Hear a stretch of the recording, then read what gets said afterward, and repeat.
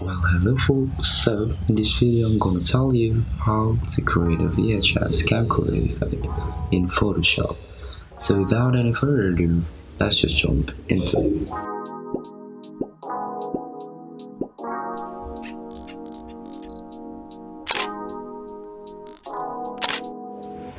Okay, so before I start editing, the font that I used is VCR OSD Mono. You can search it in dafont.com or just click the link in the description below. So now you need to type the time and date in the bottom left corner. So I will type PM 340 and then type the date April 5 2019 so now you can transform it uh, wherever you would like by just highlight both of the tags and control T. You can just transform it wherever you like and press enter now click on your photo on your photo and duplicate it by pressing Ctrl J in case you need to see the original photos. Click on the duplicate layer to work with the editing.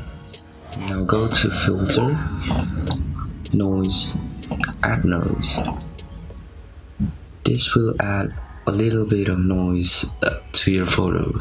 So we change the amount to around 6 and and change the distribution to uniform and change the monochromatic and press OK. Now go to the marquee tools menu right here and then choose a single row marquee tool. And now you want to select a single row of pixels. I'm gonna click it right here. And then press Ctrl T to transform it and hold shift and drag it up a little bit. Something like this. And press enter. And now go to filter distort shear so this will make a glitchy look on your photo. You just need to play around with it and don't forget to change it to repeat edge pixels. I'm just gonna change it a little bit like this. It's like this. And I think this will be okay. Then press ok and now you want to share it twice or more I go to filter and share or you can just alt control F. I'm gonna do it a couple more times okay I think it's okay now. So after that we want to deselect it by pressing Ctrl D or right click and deselect done. Now you need to add more distortion pixels in the bottom. Just do the exact same thing. So go to single row marquee tool and go around here. Control T drag it up a little bit. Press enter and go to filter or you can just control alt F. So will automatically share it.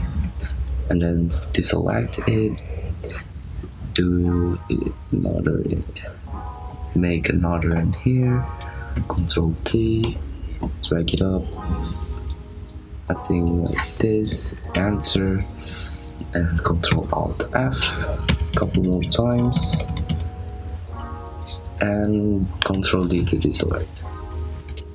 So the next thing I want to do is grab the rectangular marquee tool. This one.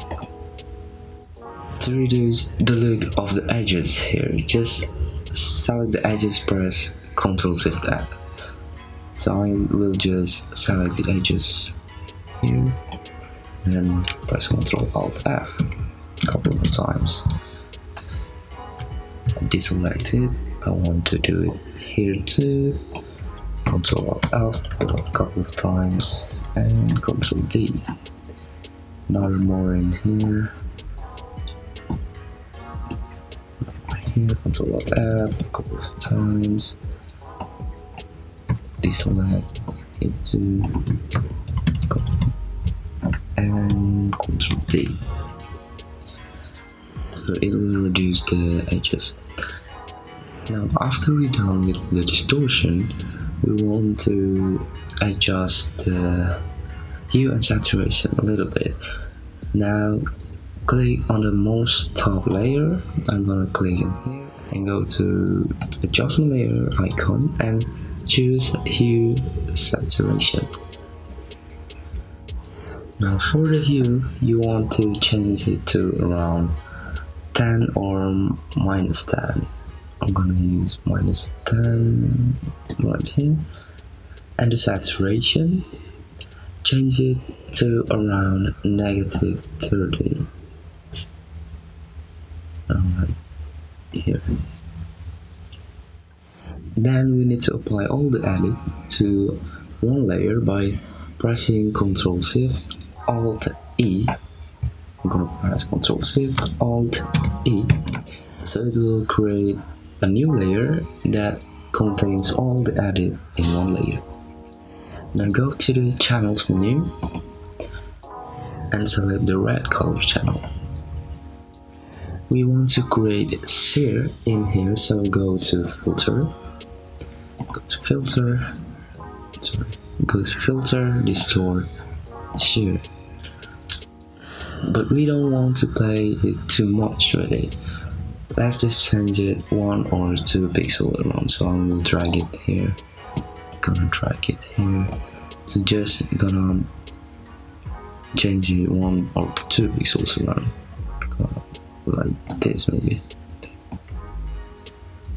Um, something like this is okay. Then press ok. So this will make the color splitting from each other so if I click on the RGB layer it will be like this. Now make sure you're working with the RGB mode again and head back to the layers. Then grab your single row marquee tool again and make sure you're working with the add to selection. And add some random selection like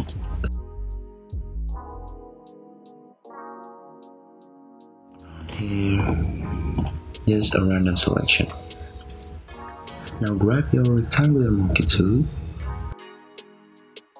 Make sure you're working on subtract from selection. And just cut through some of the edges. I'm gonna cut through some here. I'm gonna cut through some in here. Gonna cut through some in here. Then now you want to go to filter stylize wind. Choose the blast method and from the right direction. Press ok. And now you want to do it a couple of more times. Pressing ctrl alt. F a couple more times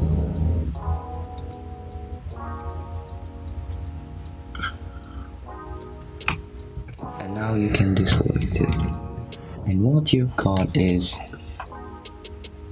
this scratch right here.